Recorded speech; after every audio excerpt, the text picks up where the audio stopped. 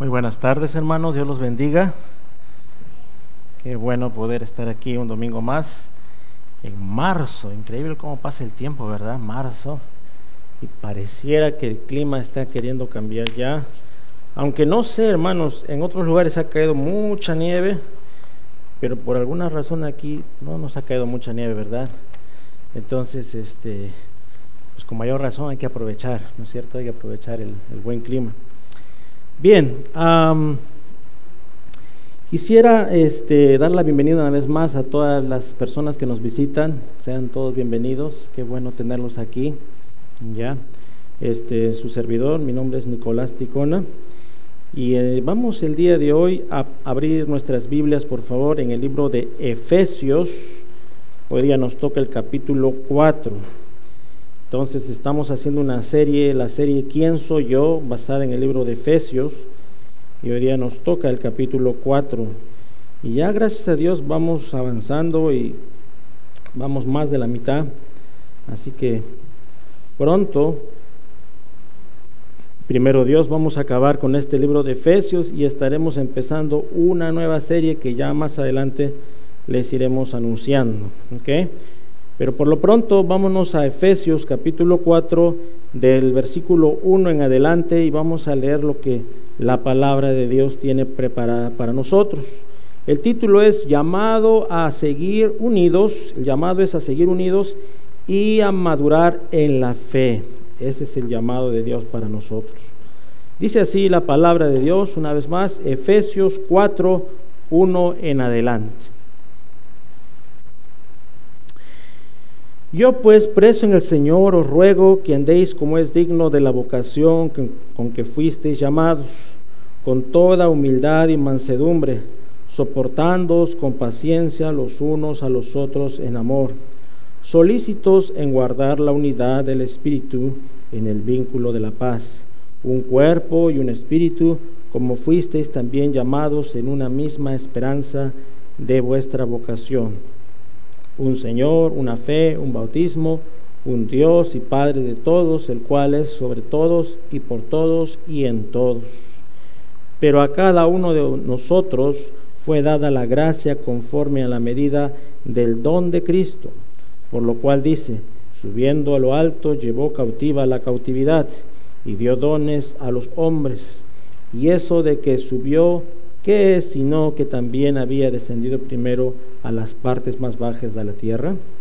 El que descendió es el mismo que también subió por encima de todos los cielos para llenar todo.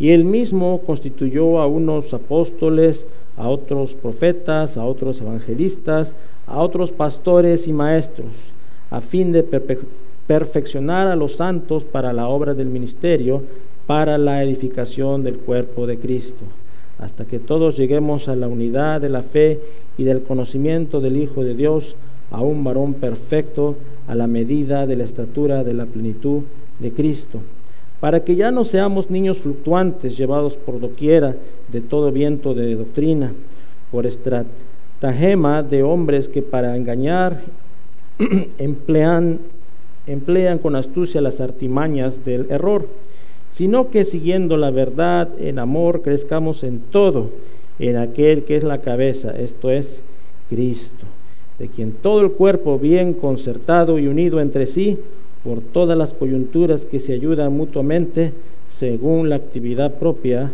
de cada miembro, recibe su crecimiento para ir edificándose en amor.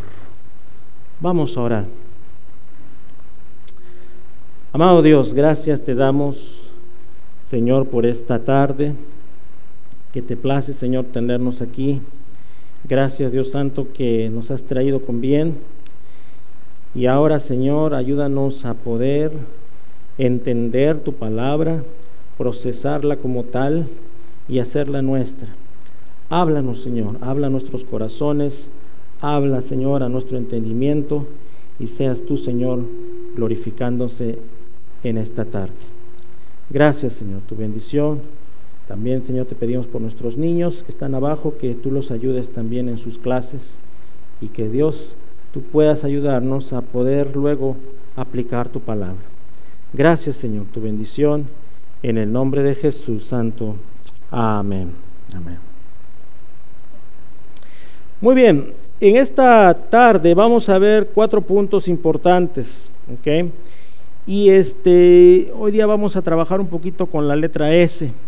Entonces ahí en el primer versículo, uno en adelante, el apóstol Pablo este, nos va a decir, nos va a decir en el versículo 1 o 2, dice, yo pues preso en el Señor os ruego, o sea, les pide, les anima, que andéis como es digno de la vocación con que fuisteis llamados. O sea, no se olviden, no se olviden de lo primero que aprendieron, sigan ahí. ¿Y cómo lo tienen que hacer? Dice, con toda humildad y mansedumbre. Y ahí la palabrita primera es, soportándoos con paciencia los unos a los otros en amor. Entonces, somos llamados a mantenernos, número uno, unidos, ¿ok? Y soportándoos unos a otros, y ahí no le puse, pero usted puede agregarle en amor, porque esa es la palabra especial, la fórmula, vamos a decir, secreta, ¿ok? El amor de Dios.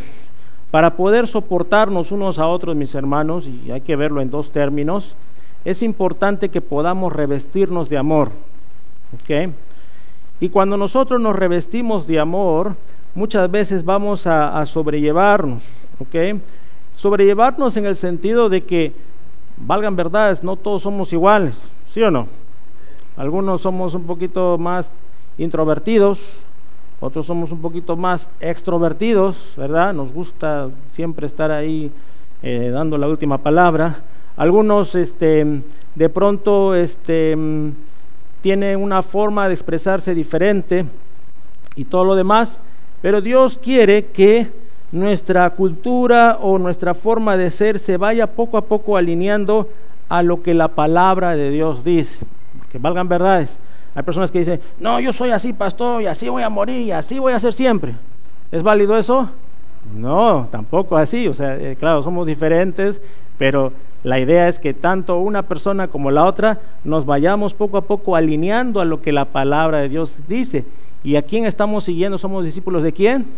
De Cristo. Entonces tenemos que buscar ser más y más como Cristo. ¿Okay? Cuando leemos las escrituras, Dios no nos está pidiendo que seamos como aquel cantante famoso o como aquel historiador famoso o como aquella persona famosa en la familia, ¿no? Muchas veces se tienen mucha estima a un abuelo, a un tío, a un personaje célebre familiar, pero Dios nos dice, no. Él nos dice y nos llama a ser más y más como Cristo, ¿ok? Ahora, en ese sobrellevarnos, hermanos, a mí me encanta el libro de Gálatas, porque cuando uno abre ahí la palabra de Dios en Gálatas 6, justamente nos va a hablar sobre ese tema de sobrellevarnos, ¿ok? Y el sobrellevar, dice los unos, Gálatas 6.2, las cargas de los otros y cumplir así la ley de Cristo. ¿ok? Entonces cuando nosotros sobrellevamos a uno a otro, estamos cumpliendo la voluntad de Dios. Porque esa es la voluntad de Dios. La voluntad de Dios es que podamos sobrellevarnos entre hermanos. ¿ya? Y una de las cosas muy importantes para poder sobrellevar, le voy a dar ahí un pequeño tip, si se puede, ¿ok? Es saber qué, escuchar. Es muy importante cuando nosotros escuchamos antes de omitir un juicio o antes de, de decir, no, no, no, eso no es así, eso no es así. Sino a veces hay que saber escuchar. Y a veces en la sociedad moderna, la persona que sabe escuchar muchas veces eh, puede ser malinterpretada porque está, está tranquila, ¿ok? Y, no está haciendo mayor este movimiento. Y en la sociedad que vivimos, eh, inmediatamente vamos a decir que te, te, para el policía o alguien te, te acusa de algo y uno siempre se pone a la defensiva y quiere probar que, es inocente, ¿no? No, no, no, yo no fui, es que lo que pasó es que esa persona me dijo esto y me dijo esto y por eso yo hice este, este movimiento y siempre tratamos de lavarnos las manos en vez de saber escuchar lo que nos va a decir ya sea el policía, ya sea la persona con quien hay el pleito y a veces es bueno solamente saber escuchar. Me gusta mucho, ahí tengo un pasaje en un salmo en inglés en mi, eh, ahí en, nuestra recámara, ¿no? que dice, uh, Be still, ignore that I am God. ¿no? Estate quieto y entiende que yo soy Dios, dice la palabra de Dios. Porque nosotros humanamente a veces queremos solucionar las cosas inmediatamente. Y por eso cuando hay un pleito, un problema con alguien, es siempre importante saber escuchar. Así que hay un pequeño tip en cuanto a lo que es sobrellevar. Pero ese sobrellevar no solamente es, hermanos, en el aspecto en que de repente puede haber un malentendido, sino que ese sobrellevar también podríamos verlo y ahí mismo en Gálatas 6, hoy día vamos a estar viendo también aquellos pasajes de Gálatas, en, en el 6.9, donde nos dice que no nos cansemos de hacer el bien, porque en su tiempo vamos a recibir o vamos a cosechar, ¿ok? Dependiendo de la, de la traducción ahí. Entonces es importante que también como creyentes y como cristianos podamos soportarnos y ese soporte es como esta mesa que está ahorita aguantando o soportando el peso de la Biblia, el peso de, lo que tengo aquí en la mesa. Es un soporte. ¿ok? Entonces el soporte en este sentido es el que nos podamos ayudar mutuamente, echar porras de vez en cuando, animarnos de vez en cuando. Están los niños viniendo de su clase. ¿Qué aprendió mi niña? ¿Qué aprendió mi hijo? Ok, entonces se le, se le anima. A veces el niño está como que mm, no se acuerda, ¿no? Se le anima en el buen sentido. Los jóvenes, se los anima a los jóvenes a que sigan adelante. A los ministerios de la iglesia, ya yéndonos más al campo eh, eclesial, ¿ok? También se anima a los hermanos de alabanza de vez en cuando y todos sabemos que la gloria es para Dios, pero se los trata de animar, se trata de animar a los sugieres, se trata de animar a los que enseñan, se trata de animar a los que sirven en diversas formas, diversos ministerios y tratamos de soportarnos en el sentido de sostén, de, que está ahí un, algo para, para este, cuidar que no se caiga. ¿okay? Y es muy importante esto, mis hermanos, este concepto también. Por eso les digo, el, tema de soporte o de sobrellevar no solamente quiere decir en, el que seamos diferentes, sino en el de animarnos unos a otros. ¿ok? Y es interesante ahí cuando, cuando Moisés y, Aarón en el Antiguo Testamento, usted lo puede ver, este, se, se, está, se está cansando la mano de Moisés, ¿no es cierto? ¿Y qué hace Aarón? Viene a apoyarlo, ¿no es cierto? Y eso es importante que nosotros en el contexto actual, en el contexto en el que estamos, también va a haber momentos que nos vamos a cansar, ¿sí o no? Y nos vamos a cansar y, de pronto o nos podemos enfermar. Entonces siempre por eso les digo a todos los ministerios, a todos los líderes que tengan un relevo, ¿ok? Porque si por A o por B yo me enfermo, yo me canso, algún problema en el hogar, alguna cosa no puedo venir, entonces llamo, agarro el teléfono y está ahí la persona que me va a sustituir. Y hay plena confianza en que yo le dejo a cargo la enseñanza, por así decirlo, y, la persona que, eh, que recibe la enseñanza va a saber cómo dirigir la enseñanza en la misma línea de lo que se está haciendo. Y no se me va a ir por otro lado. ¿No es cierto? Sino va a seguir la misma línea. Entonces nos soportamos, nos apoyamos mutuamente. Nos apoyamos mutuamente. En cualquier ministerio, los de alabanza, está Ricky, está Aníbal, por X motivo eh, Aníbal se enferma, no queremos que se enferme Aníbal, ¿verdad? Pero por ahí pasa algo, entonces Ricky este, le ayuda ese día, o viceversa, ¿ok?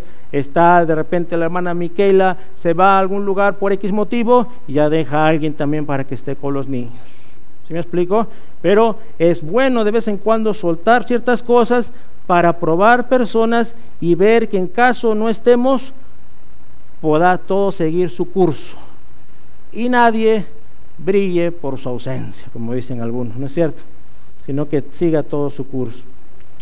Es importante entonces, y de eso nos habla la palabra de Dios, y a veces nos vamos a cansar y a veces nos vamos a sentir de pronto hasta desanimados, pero como dice Gálatas 6:9, no nos cansemos de hacer el bien, no nos cansemos de apoyarnos unos a otros.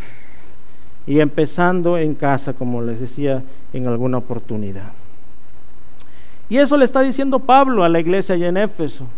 Les está escribiendo con ese deseo de que ellos se mantengan eh, animosos, unidos, soportando unos a otros y sobre todo, como dice ahí, en amor. ¿Okay? Curioso, hermanos, porque en estos días he estado pensando mucho en este tema del amor de Dios. Ustedes saben que a veces uno pasa tiempo y cree que ya entiende muchas cosas, pero hermanos, aún en el tiempo de caminar en la fe, yo sigo aprendiendo del amor de Dios y sigo aprendiendo de la gracia de Dios. Y me maravilla y hablaba con mi esposa el otro día, porque nos gusta a veces este, en la mañana tomar un café y hablamos juntos un ratito después de dejar a los niños. Y, y, bueno, cuando se puede, porque a veces que no se puede, ¿verdad? Y entonces le hablaba yo y le contaba del amor de Dios, porque estoy aprendiendo todavía sobre el amor de Dios. El amor de Dios es tan grande y vasto y maravilloso que uno no puede aprenderlo en un momento. Gloria a Dios el día que uno llega al altar o el día que, que uno hace esa profesión de fe y dice, he decidido seguir a Cristo. Pero la realidad es de que vamos a continuar una y otra y otra y otra y otra y otra vez. Vamos a seguir aprendiendo de su amor. Y a medida que vamos aprendiendo de su amor, escuche bien, vamos a también saber proyectar más de su amor a nuestra esposa, a nuestros hijos, a nuestros hermanos en la fe, al lugar donde servimos y trabajamos. ¿Ya lo cree? Créame que sí, es algo, es algo muy hermoso. Eh, por eso siempre Pablo les va a decir que todo lo hagan en amor. Ahora seguimos. Con todo esto, ya uno que conoce del Señor, porque hasta aquí ya Pablo les ha hablado el Evangelio, les ha hablado lo que es la gracia, ¿verdad? Hemos hablado todos estos domingos, les ha hablado lo que es el Evangelio, les ha definido bien la palabra Evangelio, todo eso. Ahora ya ellos son hermanos en la fe. Ahora, ¿qué tienen que hacer los hermanos que ya conocen a Cristo? ¿Eh? Ya la hermana o el hermano o esta familia X ya conoce de Cristo, vamos a suponerlo, ¿ok? Ahora, ¿qué va a hacer? con, e, ese conocimiento de saber que Cristo murió en la cruz y resucitó entre los muertos para darles vida eterna, ¿qué vas a hacer con eso? Y el apóstol Pablo les va a decir en los siguientes versículos precisamente lo que ellos tienen que hacer. Y lo vemos entonces en el versículo 3. Dice así, solícitos, o sea, haz todo lo posible lo que esté en tus manos, haz todo lo posible por mantenerlo así. Estate solícitos en guardar qué cosa? La unidad del espíritu en el vínculo de la paz. ¿Qué cosa? Un cuerpo, ¿ok? Y un espíritu, como fuisteis también llamados en una misma esperanza de vuestra vocación, un Señor, una fe, un bautismo un Dios y Padre de todos, el cual es sobre todos y por todos y en todos. Tremendo. Entonces aquí, en estos siete puntos de lo que debe ser uno, el apóstol Pablo les está diciendo a ellos que, número dos, ahí en nuestras hojitas, somos llamados a mantenernos juntos con la S en la sana doctrina aprendida hasta aquí. Entonces, ¿qué significa eso? Entonces, lo que hemos aprendido, que es, es por gracia de Dios, que es el amor de Dios, que no se duplica, sino que es uno, dice ahí, uno. Tenemos que mantenernos en esa misma esperanza, dice la palabra de Dios. Tenemos que mantenernos en esa misma esperanza lo que has aprendido, como le diría de, tu abuelita, este, de tu mamá Loida, de tu abuelita, eh, la abuelita Loida y Eunice, ¿no? La mamá, ya me estoy confundiendo, no sé. Le dice a Timoteo, eso sigue, le dice, ¿verdad? Eso es lo que tienes que, que seguir. Lo que hemos aprendido en un momento dado, ya sea aquí o donde hayamos por primera vez despertado al amor de Dios, en eso mantente, está diciendo el apóstol Pablo. No te salgas de eso, mantente ahí de lo que has aprendido. No quiere decir que al inicio entendías todo, pero el amor de Dios, esa base que has recibido, es única y es poderosa para ti y mantente en eso, mantente en lo que es la sana doctrina, así como cuando despertaste tus ojos a Cristo y dijiste, gloria a Dios, y entregaste tu vida al Señor. Le está diciendo aquí, mantente en eso, en esa misma esperanza que aprendiste. Por eso en 2 Timoteo 1:13 eh, dice, retén la sana, la sana doctrina. Lo que has aprendido, eso enseña a los demás. Y vivimos en tiempos, hermanos, de confusión, donde hoy en día eh, lamentablemente hay todo tipo de prédicas y todo tipo de evangelios, vamos a decirlo así, pero no evangelios cristocéntricos, sino evangelios que muchas veces este, están distorsionados. ¿ok? Por eso este, se escucha mucho de este evangelio de la prosperidad. ¿Cuál es el evangelio de la prosperidad? El evangelio de la prosperidad que muchas veces se vende allá afuera es el evangelio que ven a Cristo y todo te va a salir de maravilla. Todo, todo va a ser, eh, todo va a ser bendición tras bendición y te va a ir todo de maravilla. Pare de sufrir. Ya no sufras más, todo te va a salir bien. Y si bien es cierto, pues cuando uno viene a Cristo, definitivamente muchas cosas cambian para bien, definitivamente, porque hay un cambio de vida, ¿ok? Y lo hemos visto aquí con tantos testimonios que hemos tenido. Pero valgan verdades, muchas veces no todo va a ser color de rosas porque es como cuando Dios va formándote, hermano, como Él es el alfarero, ¿no es cierto? Entonces tiene el vaso en sus manos y va formándote. Ustedes alguna vez ven un alfarero y cuando a veces el vaso no está bien, una vez más tiene que volverlo a hacer y darle forma, forma. Entonces Dios va trabajando con nosotros. Y hay cosas que todavía nosotros acarreamos de nuestra vieja naturaleza. Y es ahí cuando Dios muchas veces va a tener que, hacer que el vaso nuevamente, esa área, se vaya formando. Y a veces va a doler. Va a doler. Seamos sinceros, pero va a ser para nuestro bien. Y vamos a crecer de eso. Y la experiencia de eso nos va a ayudar a poder tener madurez y ya no ser esos niños fluctuantes, ¿no? De leche, sino que vamos a empezar a comer más sólido.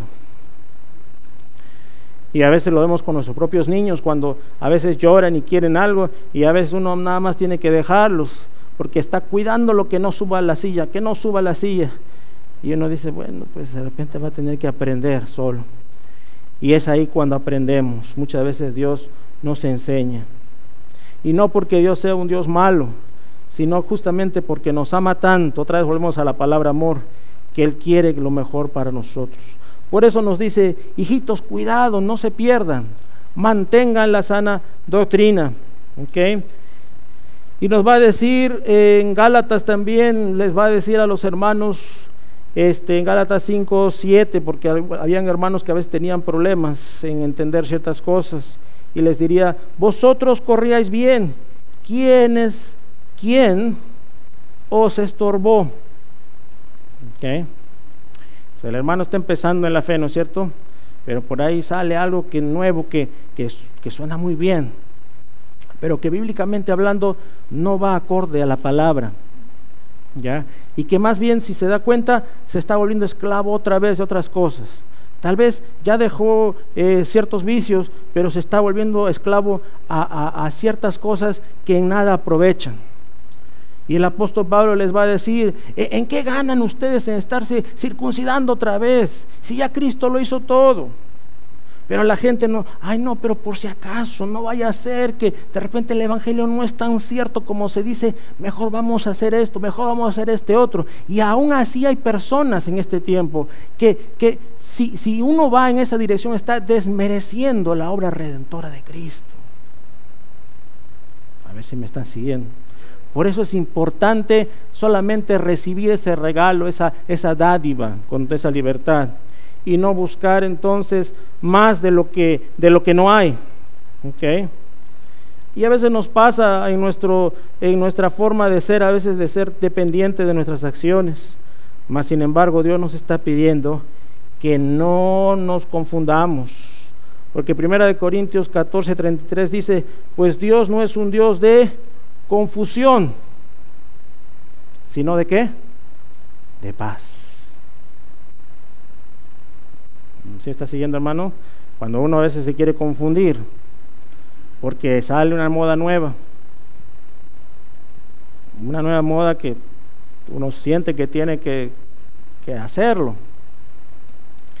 Y si no lo hace, uno se siente menos, se siente, se siente que, que, que no está encajando. ¿no? Y eso a veces pasa cuando nosotros agarramos la Biblia y la gracia la tenemos aquí y la ley la tenemos aquí. Entonces, hermanos, si leemos la Biblia a base de la ley, créanme que estamos en problemas, porque no lo estamos haciendo bajo la gracia de Dios. Y entonces uno comienza a, someter a la gente, todos se tienen que vestir así, todos tienen que hablar así, todos tienen que moverse así, todos tienen que... Y entonces se comienza a hacer un, un legalismo. Y caemos en el legalismo. Y entonces obligamos, nosotros mismos obligamos a otros a cargar con lo que no podemos cargar.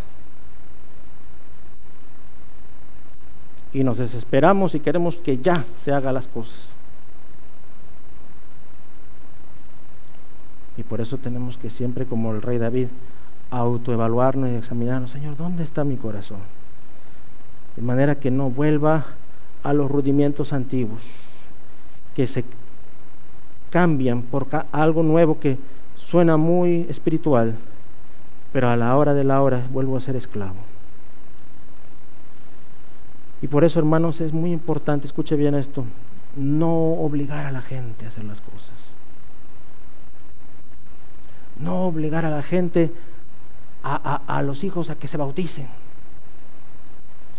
a que oremos de tal manera, a que acepten a Cristo ese momento, porque ya no los vamos a ver se va a México.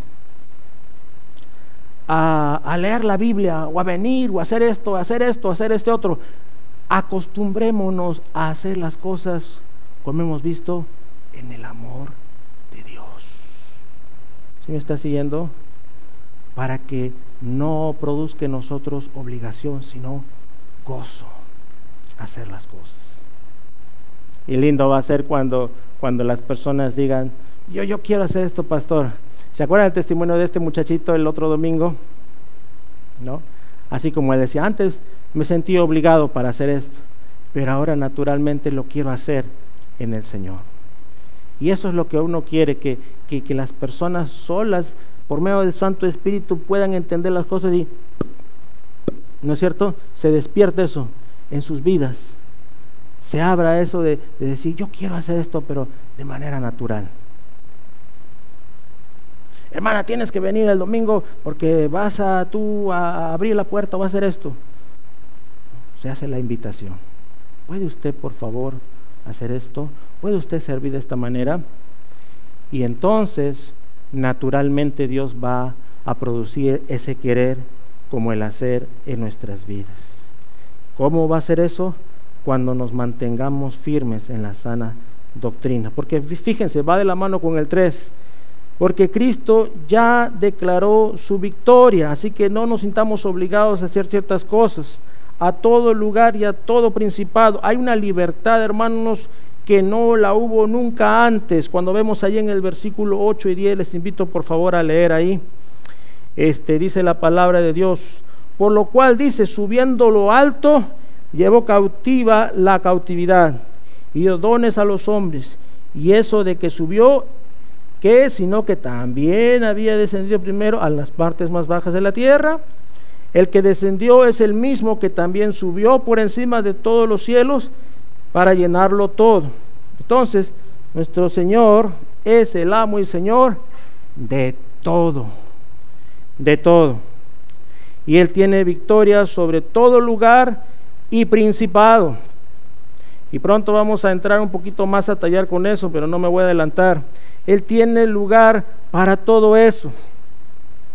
Romanos 8:37 explica de una forma también muy clara y dice, a Romanos 8, 37 y hasta, hasta el 39 a lo mejor. Antes dice, en todas estas cosas somos más que vencedores por medio de aquel que nos amó. Y hermanos, cada creyente debe sentirse más que vencedor. ¿Por qué? Porque no hay nada que nos pueda atar. Dice, por lo cual estoy seguro que ni la muerte, que aparentemente hay gente que dice, no, todo tiene solución menos la muerte, dicen algunas personas. Mentira, la palabra dice que si hay solución. Cristo Jesús venció la muerte. Amén.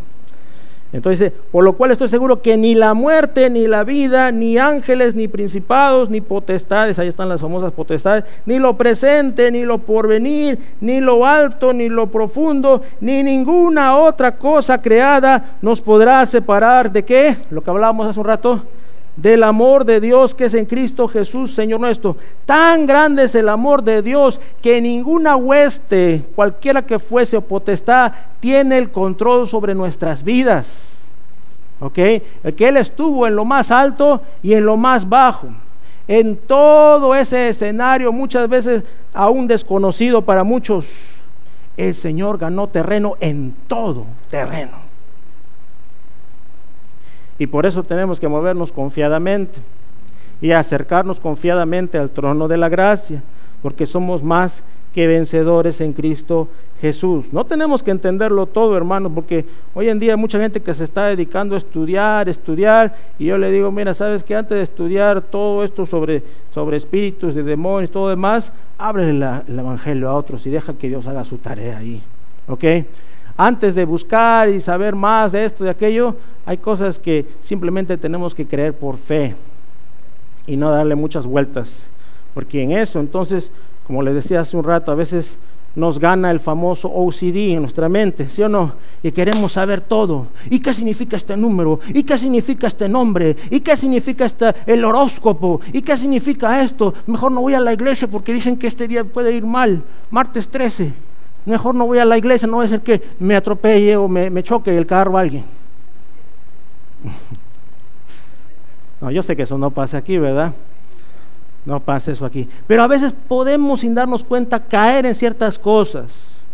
No hagas esto, no vayas, no llames, no toques, no busques.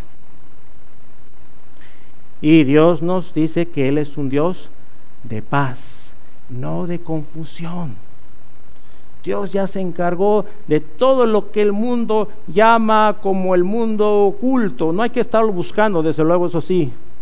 Ok, no hay que estar buscándolo, pero tenemos que tranquilos entrar a alguna zona que nos toca entrar, tranquilo hablarle a una persona, tranquilo hacer las cosas, porque Dios se va a hacer cargo de todo el resto que está fuera de nuestro control. Y es ahí entonces cuando Dios quiere que no caigamos en eso de, de quedarnos entonces a medias de hacer lo que Dios nos ha llamado a hacer. Hay muchas personas que por miedo dice yo no me quiero entregar al Señor porque luego Dios me va a pedir que deje a mi esposa. Mis... No, Dios no es un Dios de confusión. De verdad que hay gente que piensa que deje mi casa y seguramente me va a mandar de misionero al África y yo no quiero ir, ¿no es cierto? Entonces a veces hay esa confusión. Yo he escuchado a mucha gente, créanme, muchos jóvenes que están preparándose y que ahí y dicen, no, yo no quiero, yo quiero, yo quiero ser un empresario exitoso, yo quiero tener esto. Entonces Dios nunca, nunca está, este, quiero que usted entienda eso. Dios, Dios ama, nos ama de una manera especial y Él no está así como jugando a los, a los, a los puppets con nosotros, a los títeres. Él va a querer siempre lo mejor para nosotros. Y si algún día nos llama para cierta este, misión, vamos a decirlo así, nos va a equipar también para hacerlo. Y nos va a ayudar para hacerlo. No nos va a dejar ahí este, sueltos, ¿no? Eh, que nos come el tigre, sino nos va a ayudar. Así que mis amados hermanos, otra vez Hebreos eh, nos habla, acerquémonos pues confiadamente al trono de la gracia y vivamos confiados sin estar pensando en esos vientos de doctrina que muchas veces confunden en vez de ayudar. y que salen de cuando en cuando eh, se aparecen y en vez de ayudarnos nos tienen una vez más encerrados en ciertas cosas que nosotros mismos nos hemos puesto un yugo que Dios nunca nos lo puso adelante. Como un tiempo estuvo de moda los famosos ayunos y la gente estaba ayunando y dejaba de comer y hablar con su esposa, o hablar con sus hijos. He conocido casas así porque estaba este, dando su cuerpo al Señor en ese, en ese tiempo especial de, de, adoración. Y hay una virtud detrás de eso, no, no se puede desmerecer. Hay algo especial detrás de todo eso también, no quiero decir que no, pero tenemos que hacer las cosas una vez más por amor antes que por obligación para no ser eh, hallados en, fuera de lo que es la sana doctrina. Y más bien lo que Dios quiere es que vayamos de triunfo en triunfo, de victoria en victoria, porque somos más que vencedores por medio de aquel que nos amó. Y seguimos leyendo entonces ahí en el pasaje, eh, en el versículo 10 en adelante, dice así. Y él mismo constituyó a unos apóstoles, que muchos pueden llamarlos los misioneros hoy en día, a otros profetas, ¿ok? los que traen la palabra de Dios muchas veces, a otros evangelistas que les hablan a las personas, ¿no? De canto a canto y les nace naturalmente hablarles a todos los que se les cruzan, a otros pastores y maestros. A fin de qué? Hay un, hay un fin detrás de todo esto de perfeccionar a los santos para la obra del ministerio, para la edificación del cuerpo de Cristo. Decíamos el domingo pasado que Cristo es la piedra angular y ahora Dios quiere empezar a edificar a los santos para la obra del ministerio. ¿Okay? ¿Por qué? ¿Hasta dónde? 13. Hasta que todos lleguemos a la unidad de la fe y del conocimiento del Hijo de Dios, a un varón perfecto, a eso se refiere a Jesucristo, por si acaso. ¿okay? A la medida de la estatura de la plenitud de Cristo, para que ya no seamos niños fluctuantes, o sea que están tomando su manila, ¿no? Llevados por doquiera de todo viento de doctrina, cualquier cosa sale y uno eh, compra los tickets inmediatamente para irse aquí, para irse allá, ¿no? Y Dios dice, no, pues espérate, primero puede ser, pero hay que entender que todo tiene un tiempo y hay que analizar cualquier invitación que se te cursa por, eh, por el Facebook o por eh, una llamada, lo que sea, siempre hay que ver si es lo que, lo que Dios quiere para ti, si, si es para edificación. Y lo más probable es que sí, pero igual es bueno checar. ¿ok?, porque viene un gran exponente a Chicago para dar un curso de superación personal. El pastor me ha dicho que es muy, muy bueno y es cristiano y habla muy bonito y habla, ha estado en Brasil y, y mucha gente ha escuchado y habla muy bien y qué sé yo. Puede ser, pero hay que ver más o menos el trasfondo y qué, qué es lo que enseña y cuál es su base y qué organización le está dando el apoyo. ¿Ve? Porque si de pronto no es como se pinta, en vez de ser algo bueno y uno no está preparado, uno no está viniendo a su, a su reunión eh, de, que tenemos, ¿no? la que sea el miércoles o, los domingos, pero sí está participando de eso, a lo mejor no, no, no tienes todavía este, la base. Y Dios quiere que tengas una base para que no, no te dejes influenciar. Puede ser que vayas en buen, en buen, eh, eh, de buen corazón, quieras eh, entender, pero luego en el camino te das cuenta, no, eso, eso no, no está bien. Y te das cuenta a buen tiempo. Pero si eres el niño fluctuante, como dice aquí, lo primero que se te presente va a ser sentido para ti sin haber podido escudriñar lo que la palabra de Dios verdaderamente enseña. ¿Sí me explico, hermanos? Por eso hay que tiene que todo ir por un filtro. Y el filtro es la palabra de Dios y no nos desviemos. Y así les dice el apóstol Pablo en aquel entonces a la iglesia en Éfeso. Para que ya no seamos niños fluctuantes llevados por doquiera de todo viento de doctrina, por estratagema de hombres que para engañar, empleando astucia, o sea, a las artimañas del error, usan las artimañas del error, sino que siguiendo la verdad, la verdad, ¿quién es el camino, la verdad y la vida? Jesucristo. En amor crezcamos en todo, en todo que es la cabeza, esto es Cristo. ¿Ok? De quien todo el cuerpo, sea el cuerpo de Cristo, bien concertado y unido entre sí por todas las coyunturas, que se ayudan mutuamente según la actividad propia de cada miembro, recibe su crecimiento para ir edificándose, y otra vez el edificándose es en, en amor. Por eso, número cuatro, vamos a ver que somos llamados a usar nuestros dones, porque Dios les ha dado dones, y es, es interesante, hermanos, yo me gozo de ver que hay hermanos que tienen unos dones muy interesantes, ¿ok? Eh, en la enseñanza, en lo que es los niños, en lo que es la alabanza, en lo que es el discipulado uno a uno, en lo que es la oración, en lo que es este el servicio. Hay personas que les gusta servir, hay personas que, que me han dicho, yo nunca me quiero parar aquí. Yo, yo digo, bueno, Dios, Dios, Dios sabe, ¿no? No sé si en algún momento lo haga, pero, pero quiere servir de otras formas, atrás.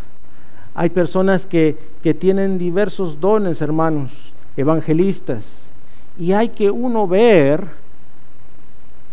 como muchas veces el padre ve a los hijos que sobresalen en algunas cosas y los matricula en eso porque quiere que se desenvuelven en eso. Hay que ver muchas veces en qué áreas Dios quiere usarnos para su gloria. Y luego seguir a la vez madurando en la fe, seguir madurando en la fe, o sea, no quedarnos ahí. Y les doy, le doy gloria a Dios por nuestra iglesia El Camino, porque veo hermanos con diferentes dones y habilidades. ¿Ya? Y los veo. Y, a veces veo, no voy a decir nombres, pero veo a un hermano, a una hermana y digo, gloria a Dios, o sea, Dios está obrando de una manera especial. Hay que facilitarle, hay que ayudarlo. Veo al jovencito adolescente que de pronto todavía no se ha dado a conocer, pero Dios tiene su tiempo para él o para ella. Y Dios tiene un tiempo, mis hermanos, y Dios quiere usar tus dones y, tus habilidades, pero eso sí les digo, uno tiene que rendir sus dones y habilidades a los pies de Cristo. Porque por más hábil que uno sea, si no lo rindes a Cristo, mm, va a ser, no va a ser usado de la mejor manera. Pero si lo rindes a los pies de Cristo, Dios se va a encargar y va a hacer lo mejor posible. Y número dos, estar creciendo, no quedarnos congelados con lo que ya sabemos, sino siempre hay esa intención de querer, inquirir, conocer, buscar y aprender más del amor de Dios en nuestras vidas. Efesios, con esto termino. Este pasaje últimamente me ha tenido pensando desde la última vez que lo prediqué. Efesios 3, 20, 21.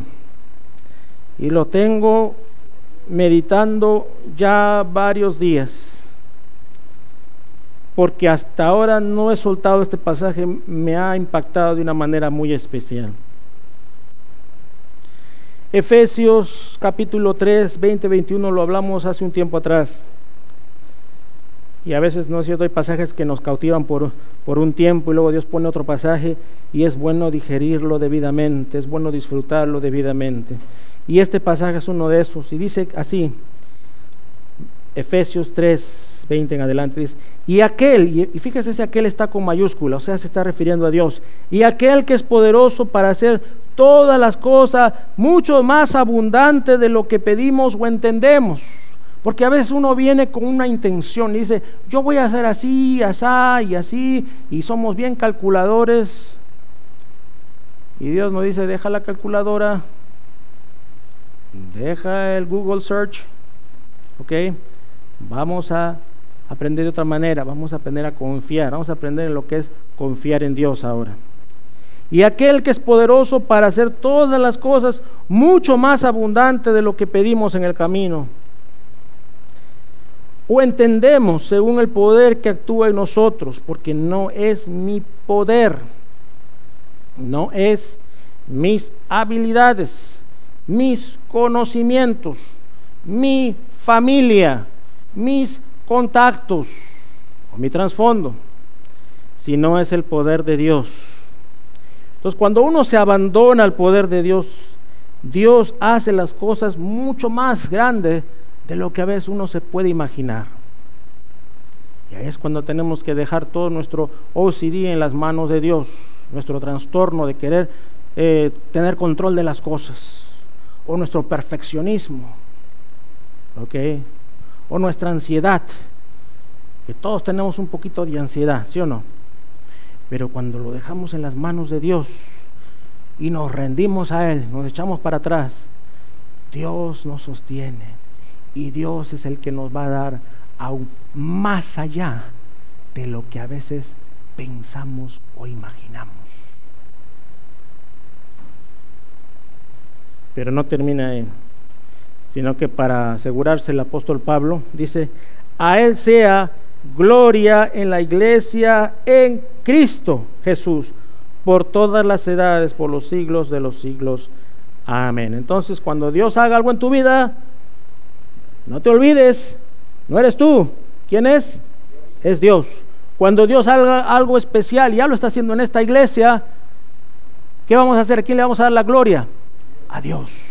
Cuando Dios te encomienda un ministerio, el ministerio de las, no sé, mejor no digo nada, pero un ministerio especial que Dios te da, las mujeres, los hombres o lo que sea, Dios pone en tu corazón un ministerio especial para ciertos niños o ciertos jóvenes o ciertas personitas con la intención de ayudar y crece ese ministerio y se hace grande y conocido y se multiplica. No te olvides que tú no eres el que lo hizo. Fuiste un instrumento Dios es el que hace la obra. Amén, hermanos. Y a Él sea la gloria por los siglos de los siglos. Amén. Les invito, por favor, ahora vamos a preparar nuestros corazones y vamos entonces a participar de la cena del Señor. Y si usted no tiene los elementos, por favor, levante su mano y ahí se le va a hacer llegar los elementos.